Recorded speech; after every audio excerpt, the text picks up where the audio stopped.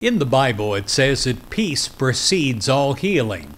Well, this is more than healing of the physical body, it is healing of any challenge that you're facing.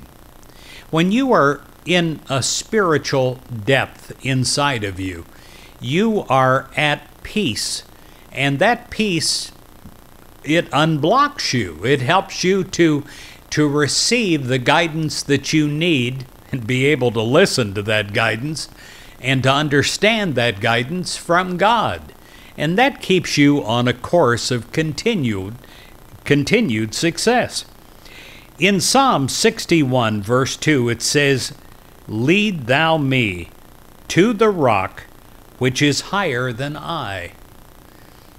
This is more than a physical rock, it is a position inside of you uh, the wisdom from above, stature of human mind, of being open to that wisdom from above.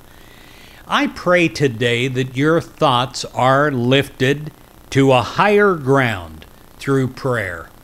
I mean not just a momentary fleeting thought, but your entire mind. I pray that every thought in your mind, past, present, and future thoughts, are lifted when you're in the midst of a challenging situation, you will no longer flee from that situation. You will work at overcoming it because you realize you're not facing it alone. You have a higher thought inside of you. That higher thought knows without a doubt that you're connected with all the help that you will ever need.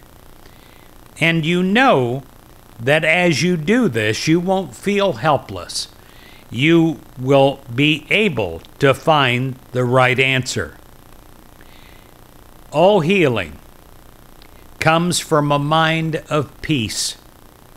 Therefore, you take time to lift your thoughts from the situation to higher ground. And you do this through prayer, a time when you enter into the stillness and you begin to see the situation in a new light. In prayer, you slow down the rush of your thoughts, the worry thoughts, the, the anxiety thoughts. You slow those down and you let the light of God come in. And as the light of God comes in, well, you are allowing the wisdom of God to move you into a new positive way of thinking about your health, your relationships, and your finances.